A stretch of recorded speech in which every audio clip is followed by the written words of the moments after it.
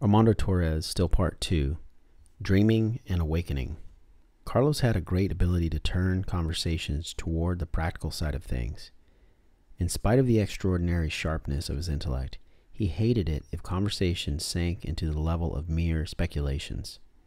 I often watch how he, in an ingenious but firm manner, would unravel the argumentation of the most rigid speakers, confronting them with the topic of results. In my case, his method for silencing my attacks of rationality consisted of reducing everything to an immediate proposition and, according to him, something not very difficult the control of dreams. However, for me, dreaming was the hardest aspect of his teaching. First, because I could not distinguish the concept of dreaming from ordinary dreams, which are two totally different things for sorcerers. Second, because the idea of focusing my attention on sleeping instead of on awakening was contrary to everything that I had learned in my philosophical search. Both these considerations were very quickly made me avoid dreaming without ever accepting it as an authentic and reachable possibility. Whenever I listened to him talking about it, I was filled with apprehension, and I justified all of this by saying to myself that such an irrational topic wasn't even worth the pain of trying to analyze it. That afternoon, he asked how my practice was going. I admitted that my practice and prejudices had prevented me from making a serious decision, and not surprisingly, I had not obtained any positive result.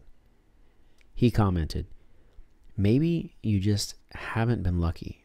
My teacher said that each human being brings his basic inclination with him at birth. Not everybody can be a good dreamer. Some find stalking easier. The important thing is that you insist. But his words didn't console me.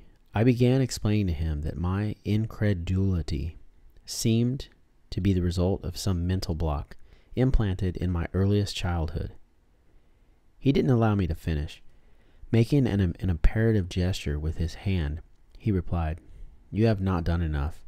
If you promise yourself that you will not eat or pronounce a single word until you dream, you will see what happens. Something in your interior becomes soft. The dialogue gives in, and kaboom. Keep in mind, for you, dreaming is not just an option, it's something basic. If you don't accomplish it, you cannot continue on the path. Alarmed by his words, I asked, But what do I have to do to achieve it? You must want to do it, he answered. It is as simple as that. You are exaggerating the difficulty of the exercise.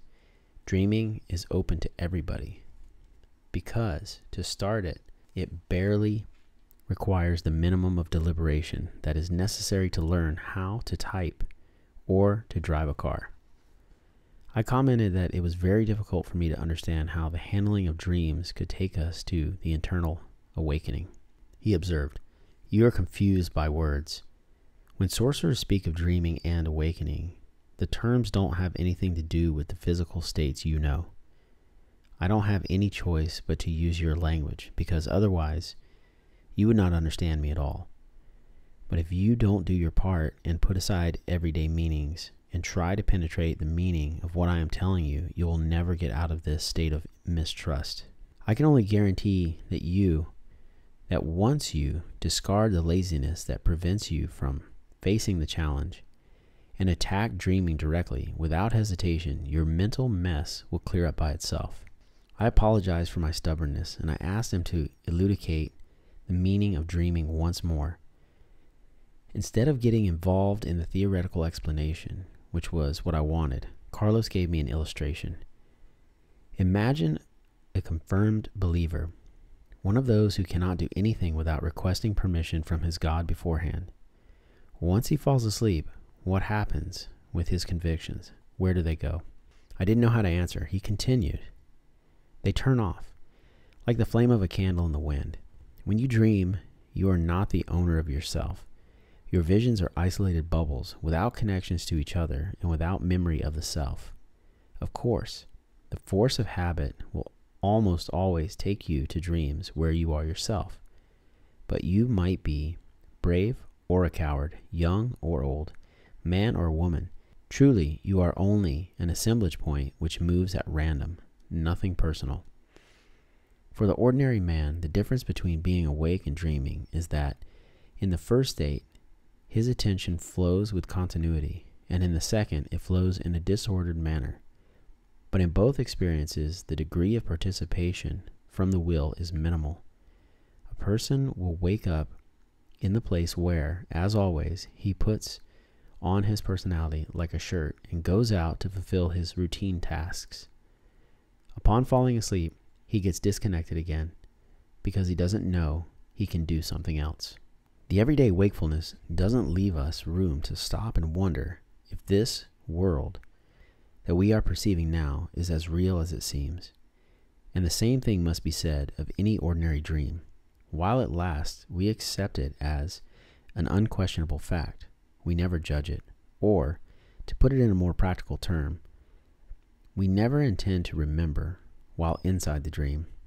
Some command or agreement is made while they awaken. But there is another way of directing attention, and the result of that can neither be called dreaming nor awake, because it starts from a deliberate use of intent.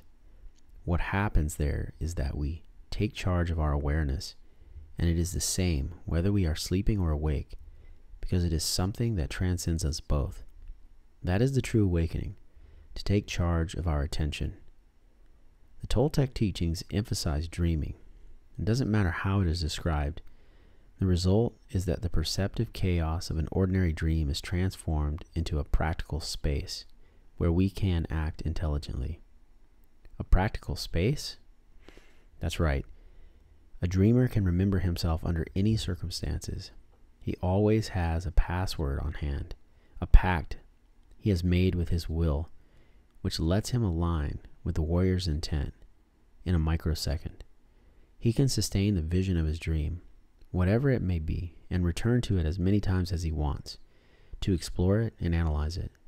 And better still, within that vision, he can meet other warriors. That is what sorcerers call stalking and dreaming. This technique allows us to intend objectives and pursue actions just as we do in the daily world. We can solve problems and learn things. What you learn there is coherent, it works. Maybe you cannot explain how to receive that knowledge, but you won't forget it. I asked him what kind of knowledge he was talking about. He answered, Life is learned by living it. The same happens in dreams. But there we learn how to dream. But those on, on the path sometimes hit up upon other abilities. Don Juan, for example, used to use his dreaming body to look for hidden treasures, buried things from the war. The products of those operations were invested in various things, like petroleum, plantations, and tobacco. My face must have shown the mixture of astonishment and incredulity I felt, because he exclaimed, It is not so extraordinary.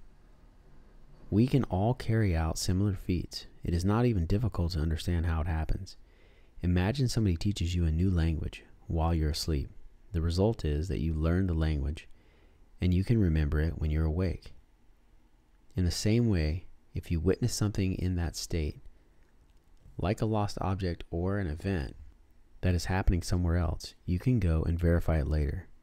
If it is just as you dreamt it, then it was a dream. Learning and dreaming is a resource much used by sorcerers. I learned more about plants in that way and still remember all of it. Don't underestimate your resources. Everything the Spirit has put inside us has a transcendent meaning. It means dreams are there to be used. If it were not so, they would not exist. The techniques I have described to you are not speculations. I have personally checked them out. The art of dreaming is my message to people, but nobody pays any attention. When I heard the sad tone of his last observation, I was suddenly struck by the unbearable timidity of my imagination. For years and years without fail, he had encouraged us to expand our vision, not out of any selfish concern on his part, but for the sheer pleasure of transmitting to us his superior state of awareness. And here I was, wallowing in my second-hand beliefs and my habitual doubts. I wanted to be on his side of the world I got up from the bench with the intention of shaking his hand to show my gratitude. I was about to, promise him something, but he stopped me. Better you don't say anything. Don't waste your time. Maybe it's not your destiny to be a brilliant flying warrior, but you don't have any excuses. Like everyone, you too are splendidly equipped for dreaming. If you don't get it, it's because you don't want to.